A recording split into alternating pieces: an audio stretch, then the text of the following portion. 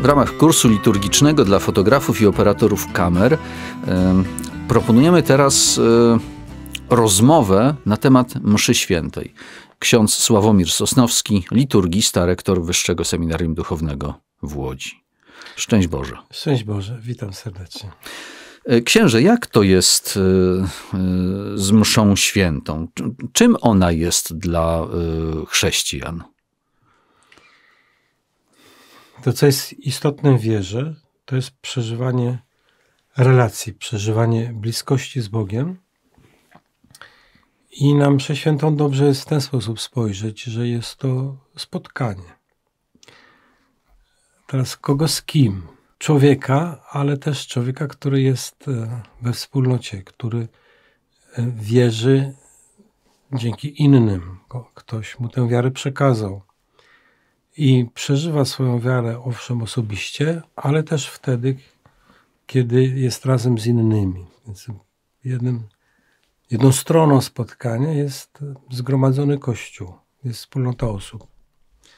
No i z drugiej strony jest e, Pan Bóg, który nam się objawia. Spotkać Go możemy dlatego, że sam daje sobie znać, że objawia swoją wolę, że zaprasza do jedności z sobą. I właśnie o to chodzi, że z jednej strony przeżywamy tajemnicę Kościoła jako osób zdolnych do spotkania, bo zaproszonych, a z drugiej strony Bóg, który sam się objawia, który jest tu i teraz obecny w rozmaity sposób, który do siebie pociąga, który kształtuje nasze człowieczeństwo. E, ale to jest spotkanie y, wielostronne, bo mamy celebransa, który mszę odprawia, mamy liturgiczną służbę ołtarza, czyli ministrantów, y, mamy też wiernych. Tworzymy wtedy wspólnotę, ale jest to wspólnota, w której jednak role są podzielone inaczej. Tak, wspólnota, która nie polega na, na tym, że wszyscy jednakowo uczestniczą, Taki obraz zwykle stosujemy. Święty Paweł mówi o tym, że Kościół to jest mistyczne ciało Chrystusa. Że, że razem, tak jak jest jeden organizm, w którym są żywe komórki, jakieś tam organy y, i każdy, każdy ma swoje do zrobienia, jest zależny od innych i coś innym daje, tak Kościół jest takim żywym organizmem, gdzie my jesteśmy poszczególnymi cząstkami, głową tego a głową tego mistycznego ciała jest sam Chrystus. Teraz to jest o Kościele w ogóle. A ci, co się spotykają na mszy, zgromadzenie liturgiczne, jest obrazem tego, czym jest Kościół. No, a więc y, w Kościele, tym mistycznym ciele Chrystusa, On sam, Chrystus jest głową, zgromadzenie jest obrazem Kościoła, ten, który przewodniczy.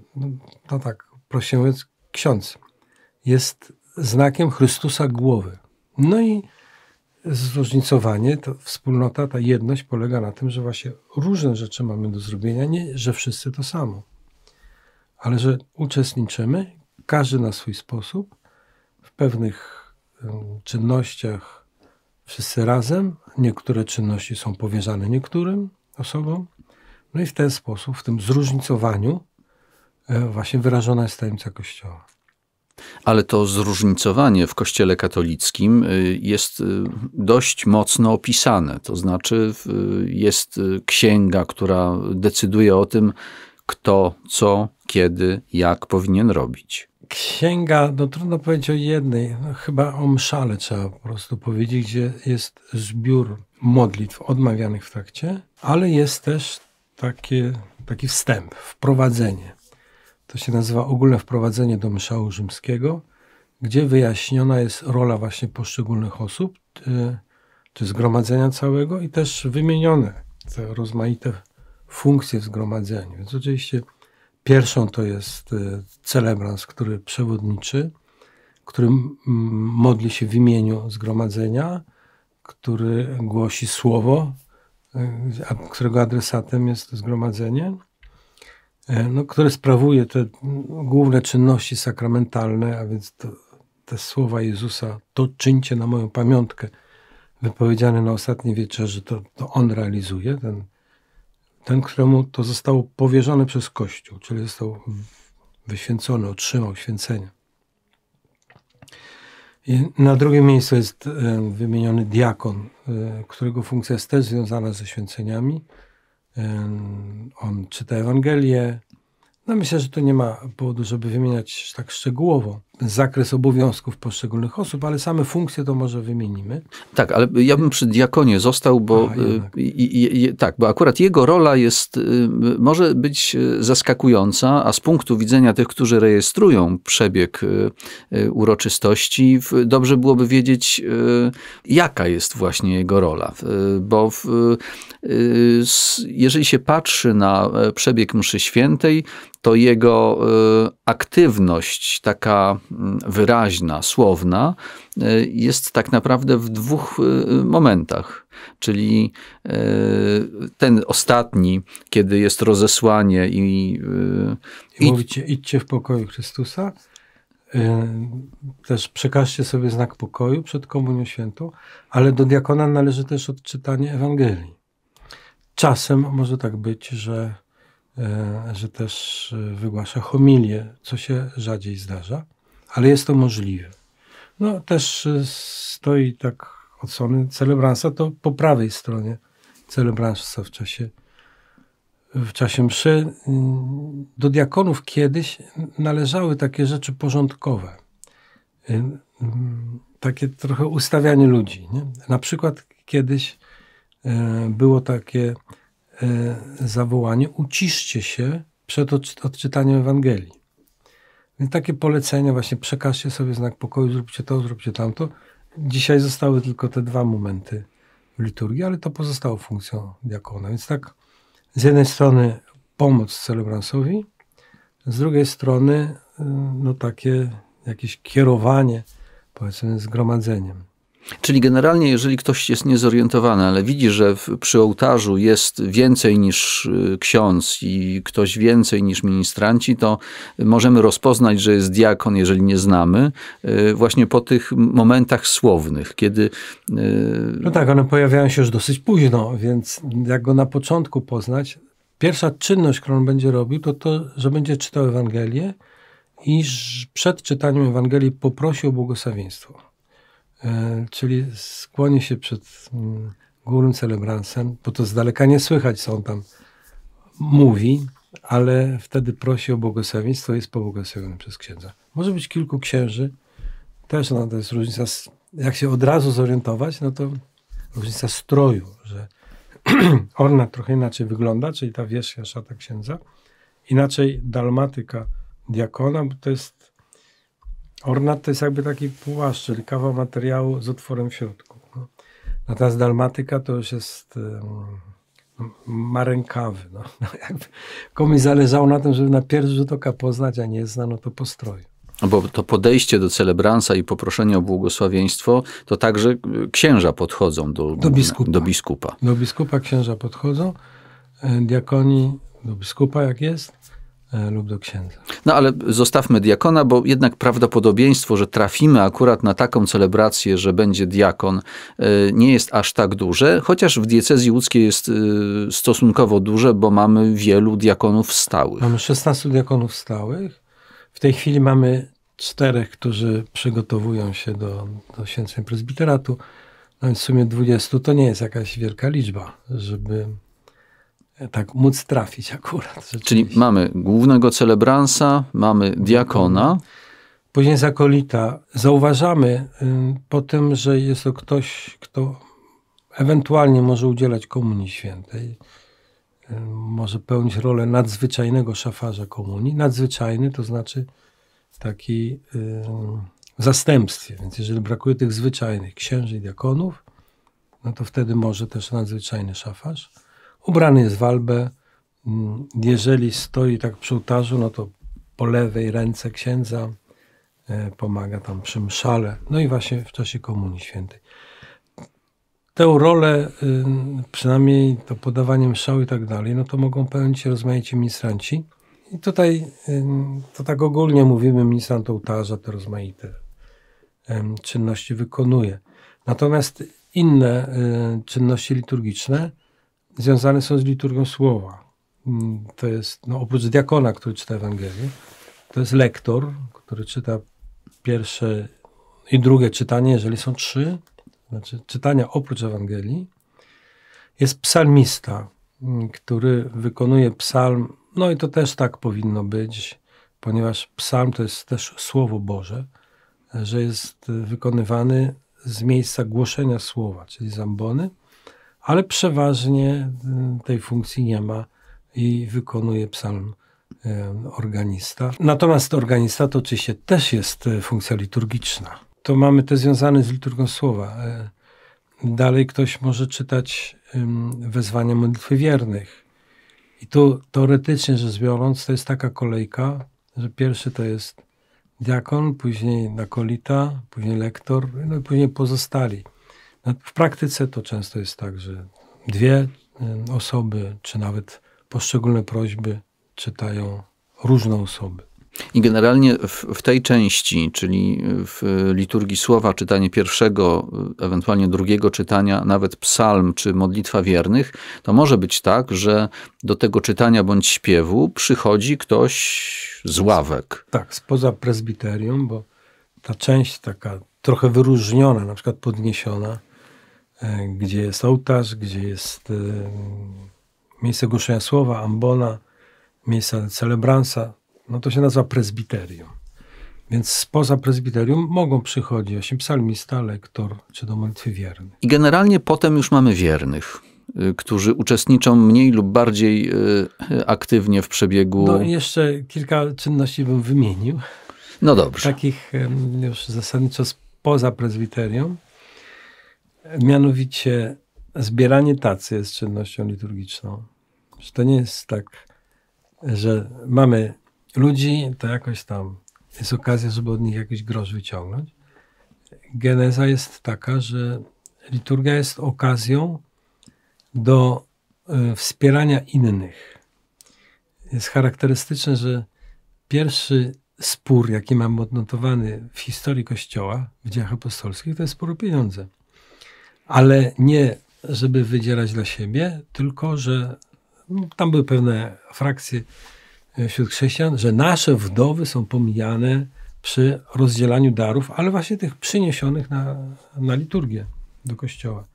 Więc to dzisiaj to jest e, tak, no, na utrzymanie kościoła przeważnie taca, ale to, że coś, co jest moje, przeznaczam na nasze, nasze wspólne, parafialne, ma ten wymiar takiego, no, jak, no, tego przygotowania do uczestnictwa przez otwarcie serca.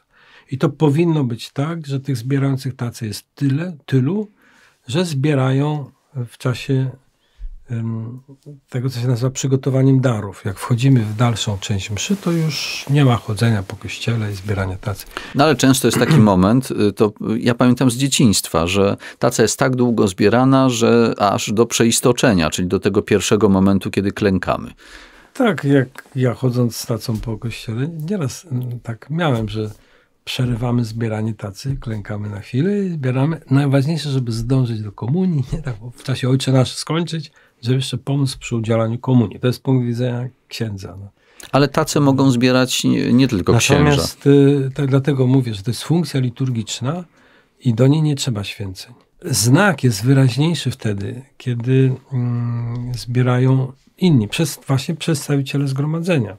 Kładą gdzieś tam te koszyki u stóp ołtarza na znak, że, że to jest taki fundusz parafialny, to, to nie jest dla księdza. Ale to zbieranie tacy y, poprzez y, chodzenie z koszyczkiem czy tacą właśnie, to nie jest jedyny sposób zbierania tacy. Zdarzają się też inne, na przykład podawanie sobie koszyczka z ławki do ławki, tak, no, ale ta dominuje. No, ale też jest tak, że niedawno byłem w takiej parafii, gdzie po mszy ksiądz staje E, w drzwiach kościoła i, i może tam kartą zapłacić. Więc ta. E, zmienia się. Zmienia się, tak. Ale e, to wróćmy do czynności liturgicznych. Czynnością liturgiczną jest też śpiew taki dla podtrzymania śpiewu, dla, dla zbudowania, budowania wspólnoty, czyli chór czy schola. To jest też czynność liturgiczna organistę wymieniłem, no jeszcze zakrystianin jest wymieniany jako funkcja liturgiczna i to chyba, chyba wszystkie. No, zakrystianin jest szczególnie istotny y, podczas sakramentu y, małżeństwa, bo on zajmuje dużo miejsca i to jest postać czasem kluczowa. Y, tak, no tam bierze obrączki, podaje wodę święconą. Przeważnie to robi kościelny Chociaż to są takie ministranckie e, funkcje. Czyli wiemy, jak różnorodne są te funkcje i one wszystkie rzeczywiście w mszale są opisane, jak to należy robić, w którym tak momencie. Z grubsza, no bo... Ale zasady pewne tak, są, tak, no obowiązują. To nie są tylko zwyczajowe zasady, chociaż w części tak, ale też są opisane. No jaka tutaj może być rola fotografów? Bo o nich księgi liturgiczne nie mówią nic. Yy, tak. Fotografów filmujących. E, więc fotografowanie nie jest czynnością liturgiczną. Czynnością liturgiczną jest to, co mm, no, mm, przyczynia się do tworzenia, jest jednym z elementów podmiotowości zgromadzenia. To my robimy. Nie wszystko my razem, ale w naszym imieniu ktoś, czy dla nas jako zgromadzenia. Natomiast y, utrwalanie, czy przez zdjęcie, czy przez filmowanie, jest, jest taką czynnością obcą trochę.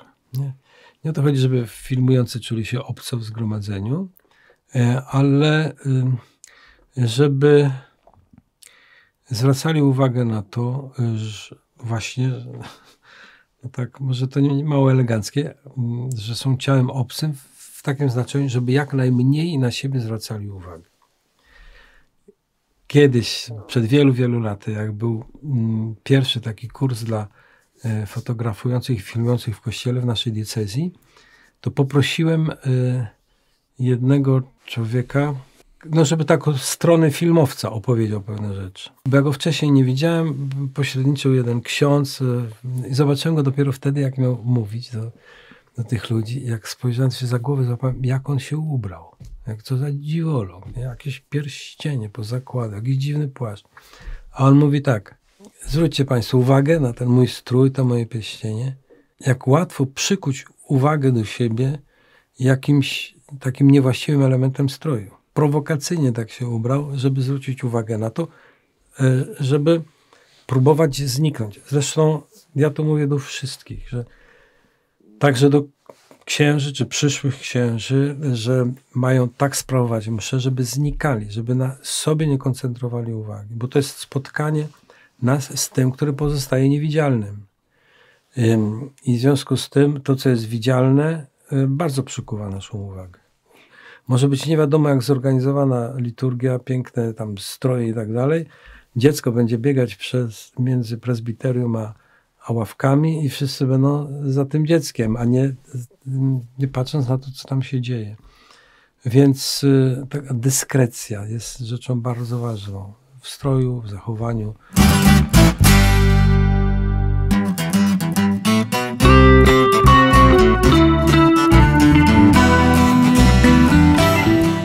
Udowodnić, że jesteś świadoma lub świadomy podczas kursu, wciśnij jeden.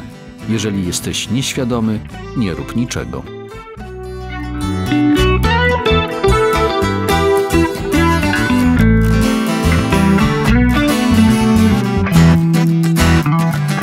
Wiemy, że filmujący, fotografujący nie są w tych e, księgach. Większość pozostałych ról czy sytuacji jest opisana, są przewidziane różne warianty, ewentualnie zwyczaj coś e, e, nakazuje w danej parafii konkretnej.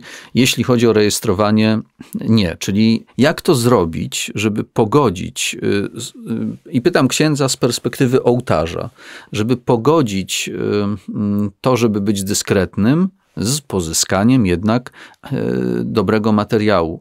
E, filmowy ewentualnie można z, jednej, z jednego miejsca zrobić e, i to będzie w miarę dobry materiał. Ale fotograf powinien różne ujęcia z różnych perspektyw. Czy są jakieś takie obszary, w które nie powinno się wchodzić, albo jakieś momenty, w których nie powinno się wykonywać jakichś czynności?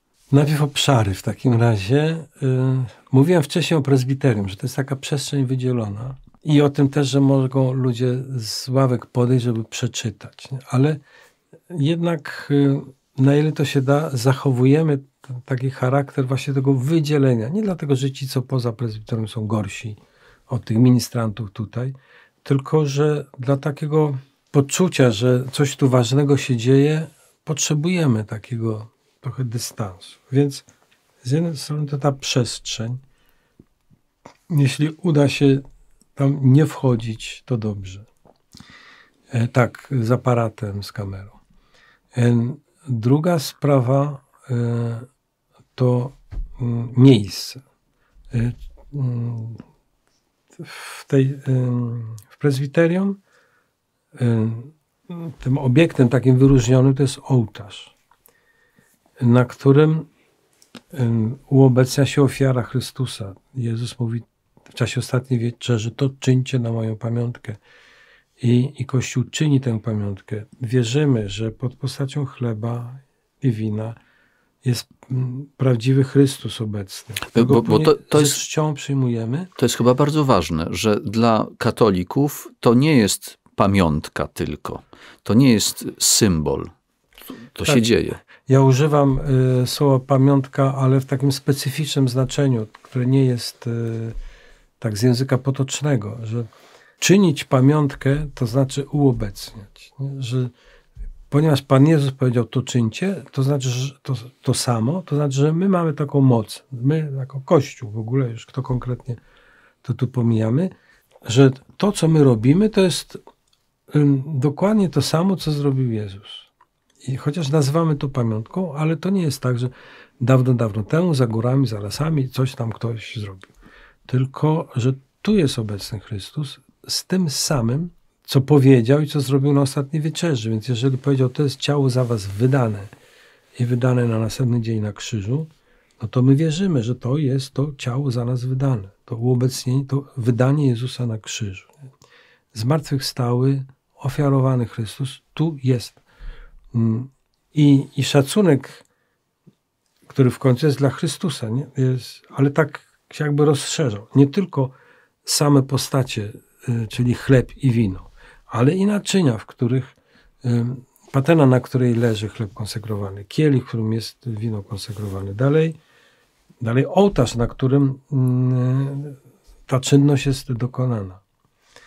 Y, to jest jedno. Ołtarz, drugie, to jest miejsce przewodnicze, to jest miejsce głoszenia słowa, czyli ambona tak pokazuje na tę stronę, ale może być z różnych. Nie ma takiego na stałe przypisanego miejsca, gdzie powinna być.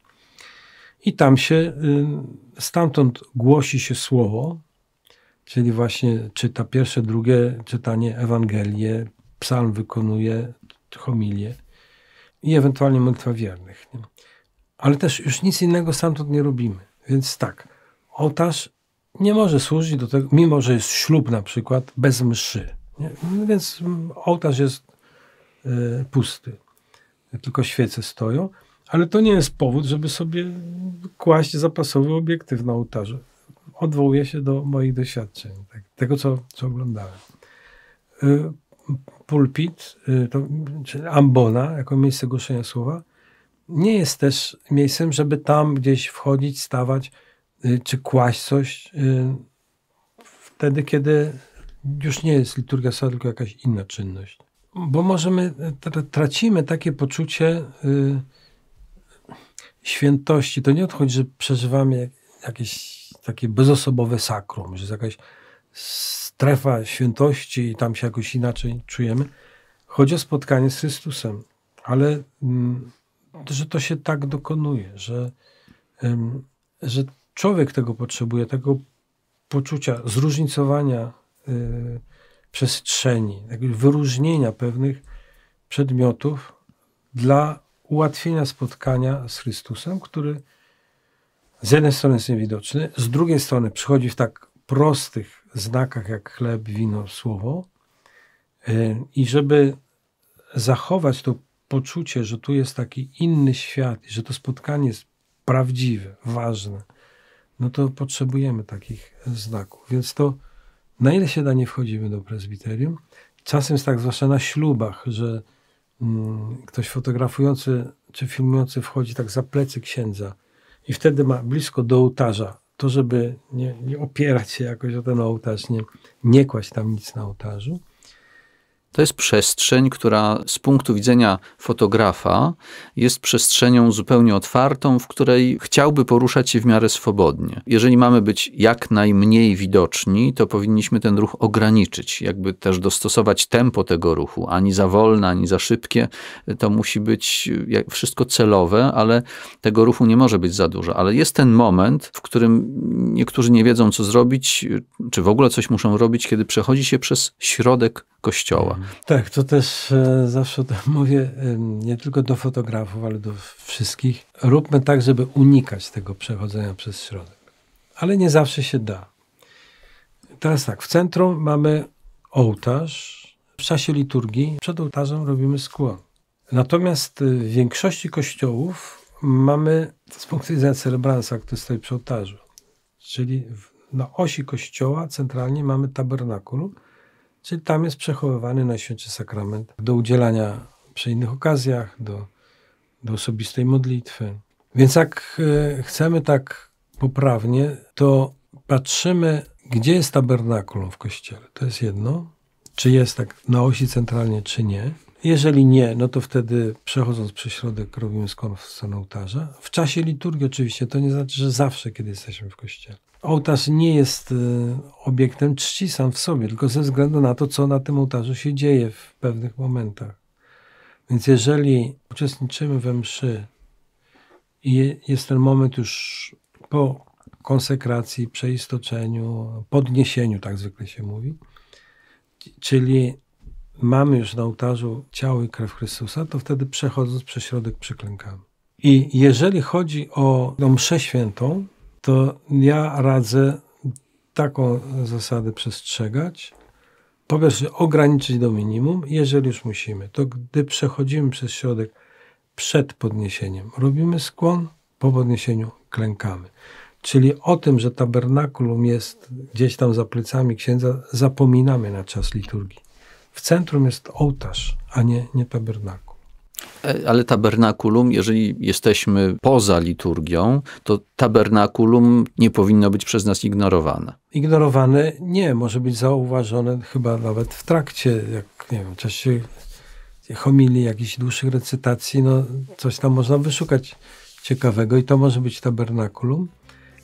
Ale nie robimy z tego centrum, ale też nie, nie ignorujemy.